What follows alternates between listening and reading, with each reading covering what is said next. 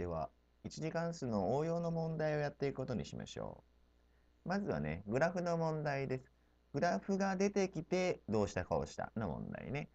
この場合、問題は注意することが2つ。まず、出てきた座標は正しい式ね。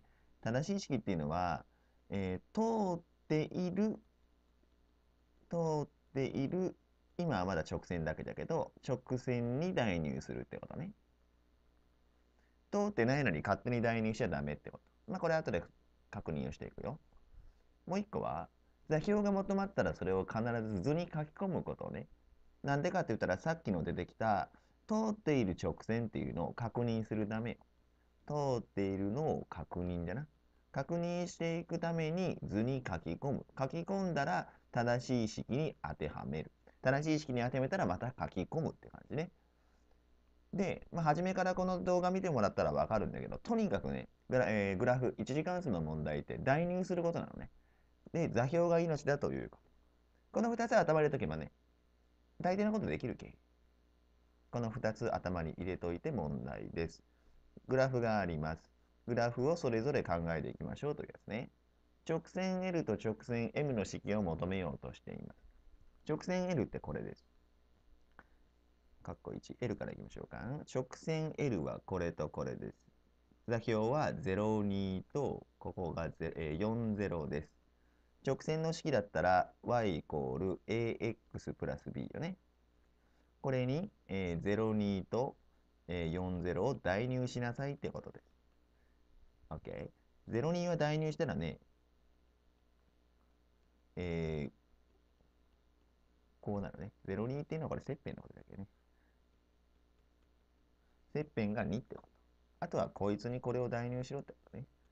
代入。すると、えー、4イコールじゃなかったね。間違えたね。0イコールだったね。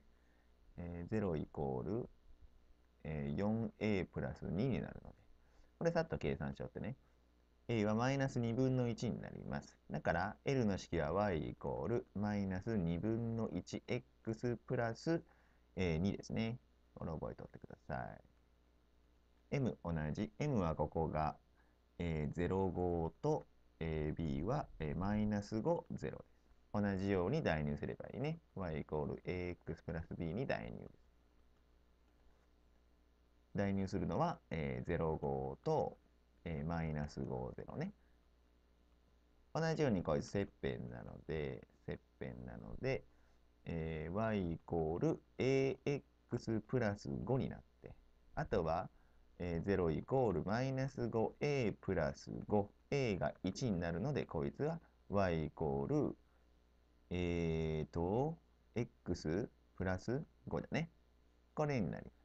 L と L 出たね。OK はい2番目。えっ、ー、と交点の座標を求めなさいなので次のページね。えー、交点の座標を求めるときは、ただ一つ、連立方程式を解くことを覚えとってね。連立方程式を解くのね。えー、今回については L と M の連立方程式、この2つの連立方程式を組みましょうってことね。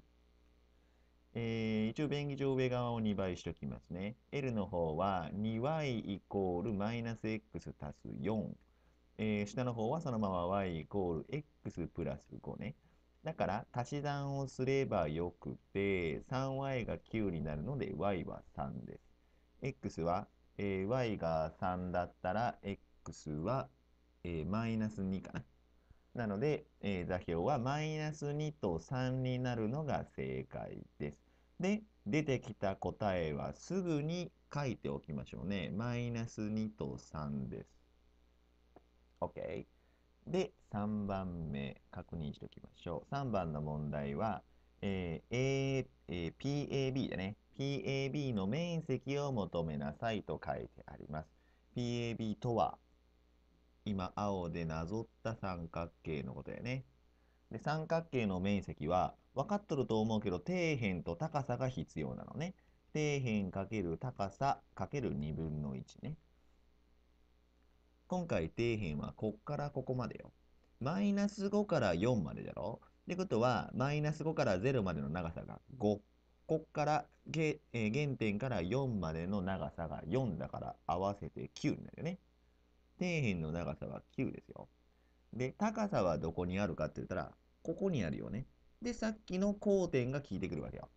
高さは上に上がったので、x の方ではなくて y の方です。だから高さは3です。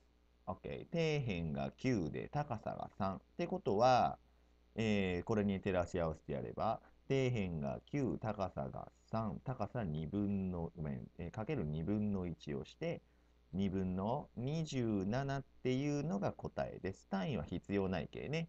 2分の27です。あとは図を見ればわかりますね。ってことね。OK?